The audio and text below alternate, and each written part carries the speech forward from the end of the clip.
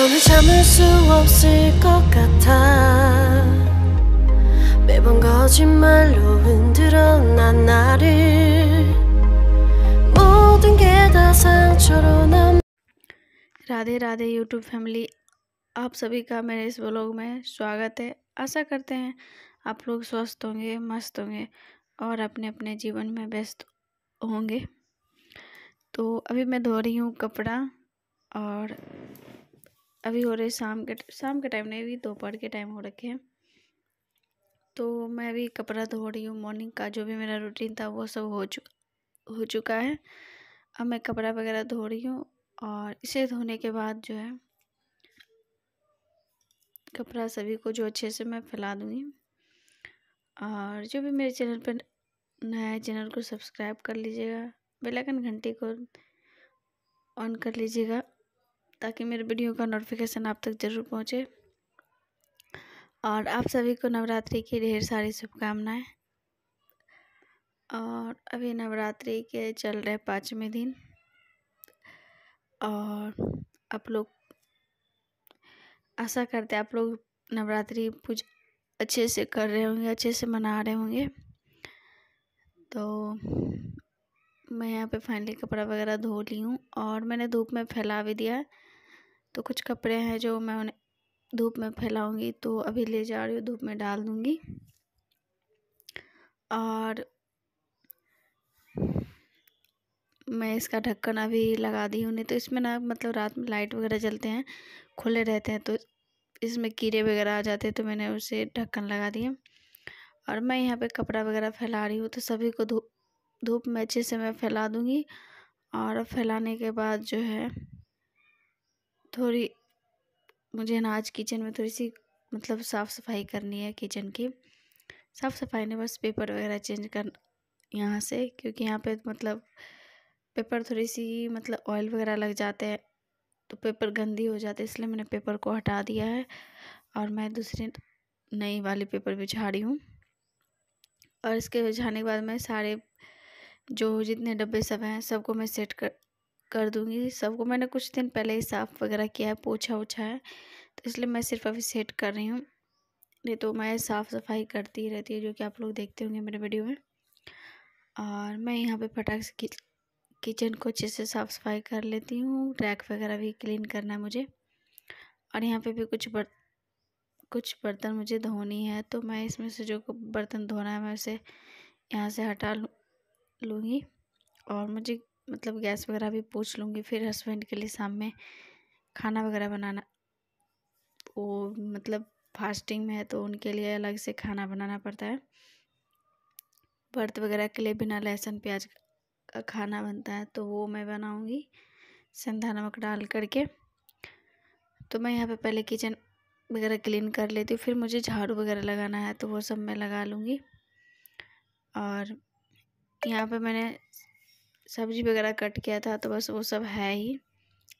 तो मैं यहाँ पे फटाक से लगा लगा लेती हूँ झाड़ू और इसके बाद मुझे करनी है घर की, रूम की भी थोड़ी बहुत सफ़ाई करनी है मैं। मतलब बेड शीट मैं अभी डेली चेंज करती हूँ क्योंकि फ़र्स्ट फ़र्स्ट वगैरह मतलब अभी नवरात्रि चल रही जितना साफ़ सफ़ाई रखो उतना अच्छा रहता है। उसे तो डेली साफ़ सफ़ाई रखना चाहिए, लेकिन अक्सर करके नवरात्रि हो, कोई व्रत वगैरह हो गया तो उसमें हमेशा घर को साफ़ सफ़ाई रखना चाहिए।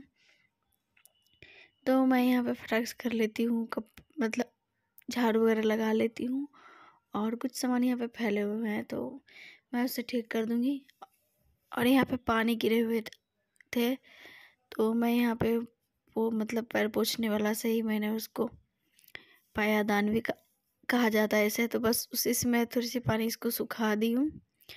और मैं यहाँ झाड़ू लगा लेती हूँ। झाड़ू लगाने के बाद मैं यहाँ पे थोड़ी बहुत कचरे थी, बस पहले मैं उसे उठा लूँ।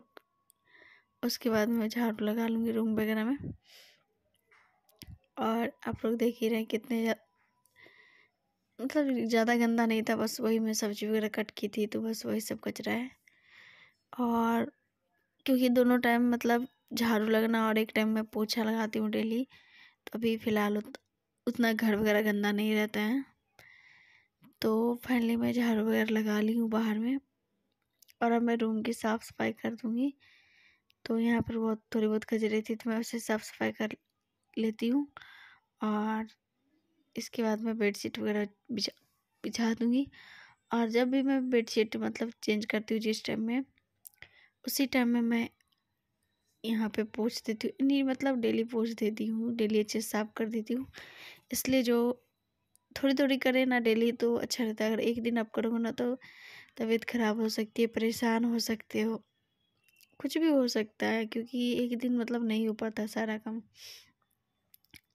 और फाइनली हमने बेडशीट वगैरह चेंज कर दी। और अब मैं फटाक से कर लेती हूँ झाड़ू, क्योंकि रूम में मतलब उतना गंदा है नहीं, फिर भी मैं झाड़ू लगा लेती हूँ। और जब भी मैं झाड़ू लगाती हूँ तो दोनों टाइम झाड़ू मतलब अच्छे से लगा लेती हूँ। तो फाइनली हमने झाड़ू वगैरह लगा लिया है रूम वगैरह में, और अब मैं आ गई हूँ बाहर। तो मैं यहाँ पे भी झाड़ू लगा लेती हूँ। और आप लोग नवरात्रि किस तरह से मना रहे कमेंट में ज़रूर बताइएगा। तो मैं यहाँ फाइनली झाड़ू वगैरह लगा ली। और झाड़ू लगाने के बाद फिर सारे कचरे को मैं उठा करके और मैं फेंक दूँगी। मतलब डस्टबिन वगैरह में डाल दूँगी क्योंकि अभी ज़्यादा टाइम नहीं हुआ है। फिर मुझे मतलब तो, थोड़ी बहुत बर्तन भी क्लीन करने तो उसे क्लीन करने के बाद मुझे हस्बैंड के लिए खाना भी बनाना है। तो दिन छिपने से पहले ही मैं बना देती हूँ। फिर उसके बाद मुझे शाम दिया वगैरह जलाना होता है तो इसलिए मैं भी जल्दी जल्दी कर रही हूँ। फिर मुझे शाम का दिया भी जलाना होता है, उस टाइम में थोड़ी मन शांत करके दिया वगैरह जलाओ तो अच्छा रहता है। नहीं तो खाना भी चढ़ाओ और शाम का दिया भी जलाओ तो नहीं हो पाता है।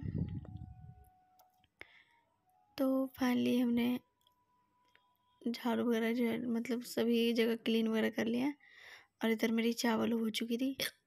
तो मैं यहाँ पे सब्ज़ी बना रही हूँ।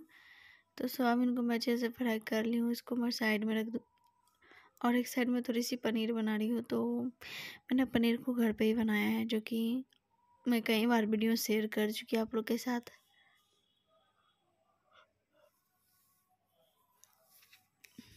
तो आप लोग चाहते हैं तो मैं इसके लिए एक अलग से ब्लॉग बना करके आप लोग के लिए मैं डालूँगी पनीर किस घर पे किस तरह से बनाते हैं। तो मैं यहाँ पे नमक हल्दी जो हमारा होममेड मसाला होता है, बस मैं वही डाल डालूँगी। और मैंने मिर्ची डाल दी है और इसको अच्छे से फ्राई कर लूँगी। इसमें आलू वगैरह जो भी मैंने बॉईल करके मतलब जो भी मैंने सब्ज़ी कट करके रखे हैं, उसमें डाल दूँगी। और एक सीटी एक सीटी लगा दूँगी। आई होप मेरा वीडियो पसंद आए तो लाइक कीजिएगा शेयर कीजिएगा कमेंट करना मत भूलिएगा। और जो भी मेरे चैनल पर नए चैनल को सब्सक्राइब कर लीजिएगा प्लीज़ आज जैसे सबका सपोर्ट करते वैसे मेरा भी कीजिएगा।